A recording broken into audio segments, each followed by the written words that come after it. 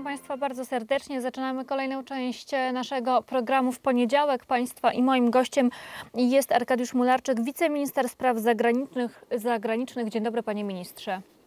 Dzień dobry, witam serdecznie. 17 września, jedna z najważniejszych dat w kalendarzu e, polskiej historii. E, Rosja już dostaje szału, jak czytamy w mediach międzynarodowych, na wieść, że Polska będzie przygotowywała e, przez najbliższe 2-3 lata raport dotyczący strat wojennych i reparacji, jakie będziemy żądać od Rosji. Czego pan się spodziewa? No, yy Przede wszystkim naszym celem jest e, w pewien sposób wyprostowanie tych kwestii historycznych, jakie są w relacjach polsko-rosyjskich, ale również e, w pewnym postrzeganiu historii II wojny światowej, a w szczególności roli Polski i Rosji. Bo trzeba podkreślić, że z perspektywy Polski e, Rosja nie jest krajem, który pokonał nazistowskie Niemcy, pokonał trzecią Rzeszę, ale jest krajem współodpowiedzialnym za wybuch II wojny światowej. Bo przecież 1 września zaatakowały Polskę Niemcy, 17 września zaatakowały Polskę Rosja Sowiecka. Dopuściła się szeregu zbrodni wojennych, Katyń, Starobielsk, Ostaszk, Ostaszków, ale również wywiezienie setek tysięcy polskich obywateli na Syberię, gdzie wielu z nich po prostu zmarło. To są później również zniszczenia, grabież, mordy, zbrodnie wojenne, a po wojnie demontaże e, z tak zwanych ziem odzyskanych, gdzie po prostu Rosjanie wywozili wszystko, co, co tylko można było wywieźć, narzucając także później jeszcze niekorzystne muły węglowe.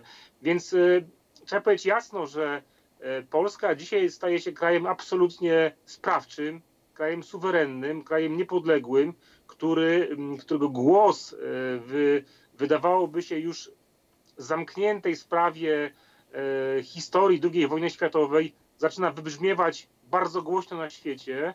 E, my opisujemy nie tylko nasze straty wojenne ze strony Niemiec, które nie zostały nigdy e, zapłacone, ale również dzisiaj sygnalizujemy, że także mm, będziemy w pewien sposób no, rewidować to stanowisko, które w świecie mm, opisuje Rosję jako kraja, kraju, który wygrał II wojnę światową, czy też był w koalicji krajów, które wygrały. Rosja jest krajem współodpowiedzialnym za wybuch II wojny światowej, e, natomiast no, oczywiście później się te sojusze zmieniły i e, była krajem, który e, no, brał udział w pokonaniu III Rzeszy. Tak, ale Także panie pewno... ministrze, to ja na chwilę przerwę, pozwolę sobie przerwać.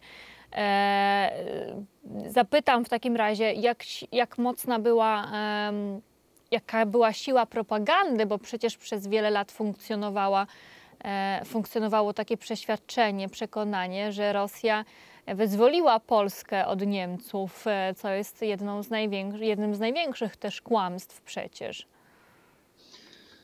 No właśnie, więc e, głos Polski był nieobecny przez dekady w tej debacie historycznej.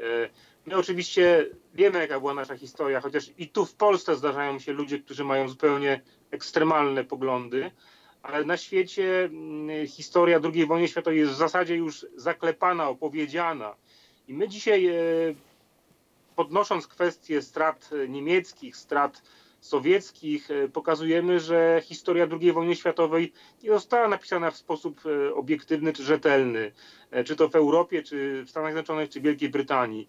I dzisiaj, gdy mm, e, właśnie obserwujemy tą dyskusję, która toczy się mm, w mediach międzynarodowych, na początku e, z niedowierzaniem, e, na początku z takimi atakami, że to tutaj konserwatywny, narodowy rząd polski w celach kampanijnych jakieś tematy historyczne podnosi, to jednak nasza konsekwencja, podnoszenie tego tematu na forach międzynarodowych, w relacjach bilateralnych prowadzi do tego, że powstaje coraz więcej obiektywnych publikacji w mediach międzynarodowych, które opisują problematykę II wojny światowej, strat zadanych przez Niemcy, ale również przez Rosję.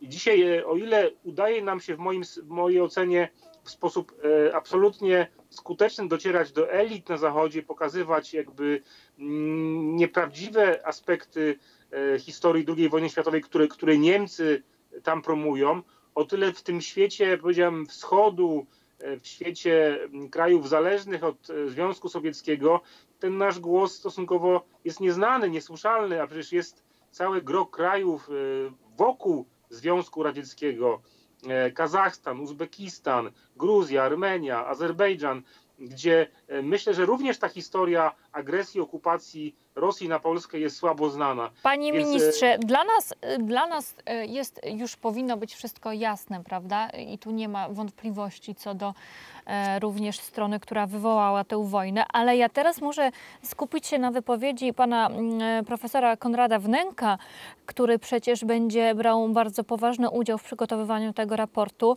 i chciałabym, gdyby mógł pan mm, e, wyjaśnić, dlaczego to będzie takie trudne. Policzenie i rozgraniczenie strat pomiędzy stratami zadanymi nam przez Sowietów a Niemcami będzie zdecydowanie trudniejsze.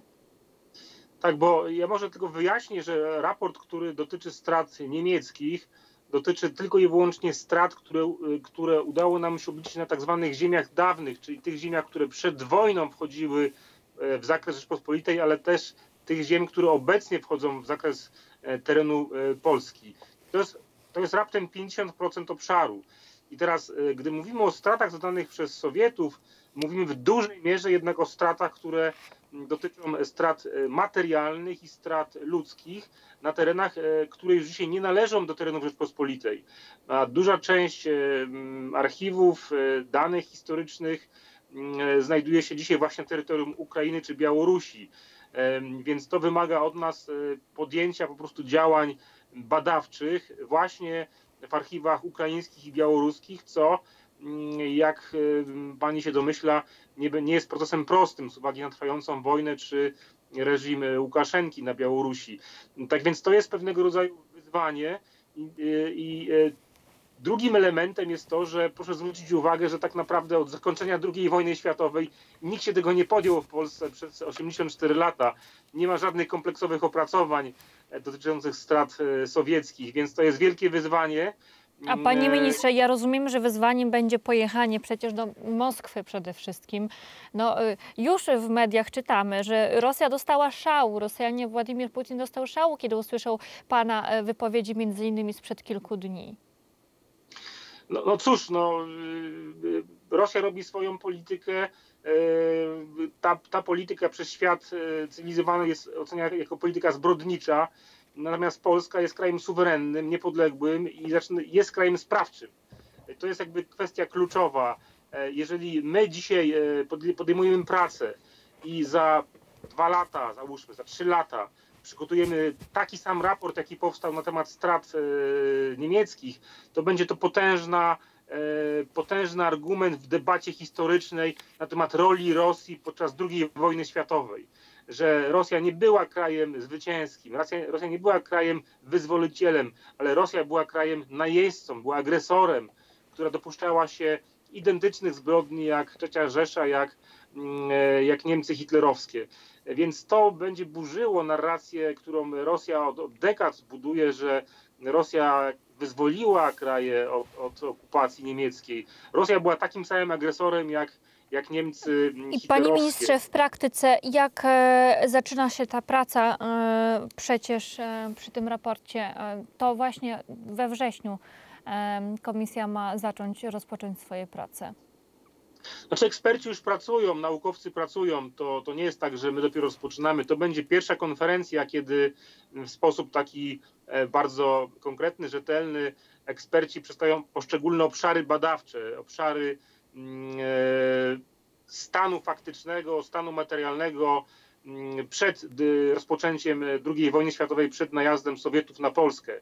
I później będziemy stopniowo dokonywali badań i ocen, na ile mm, te y, zniszczenia dotknęły substancję właśnie materialną, substancję ludzką e, i postaramy się to oczywiście wszystko wycenić. Więc ja myślę, że dlatego Putin dostaje szału, bo ta nasza praca E, podważy po prostu narrację, którą Rosjanie przez dekady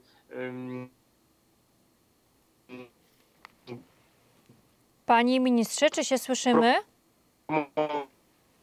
Narrację, tak, ja, pan, ja panią słyszę. Dobrze. Panie ministrze, to teraz e, zmieniamy na chwilę temat e, w naszej rozmowie w takim razie.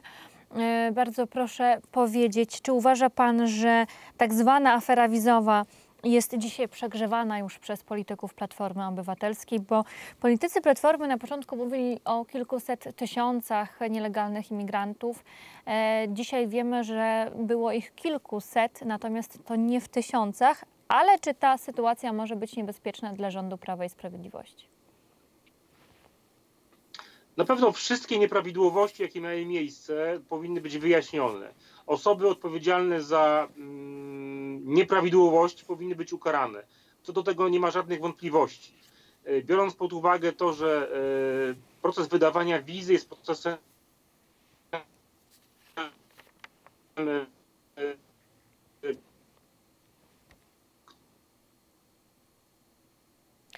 Panie ministrze, czy się słyszymy? Niestety dzisiaj internet chyba nam nie dogadza.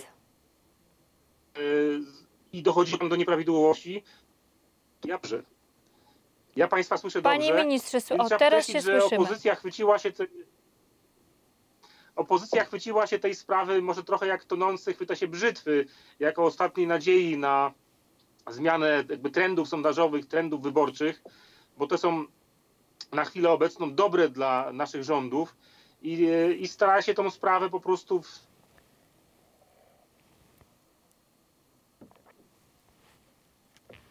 Panie ministrze, moje ostatnie pytanie w takim razie, jeżeli się nam uda jeszcze.